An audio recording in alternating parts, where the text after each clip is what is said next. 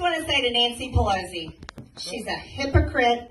She's an anti-American, and we're going to kick that bitch out of Congress.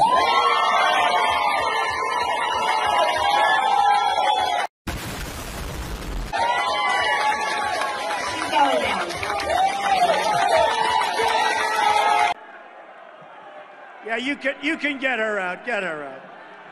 And we're going to kick that bitch out of Congress.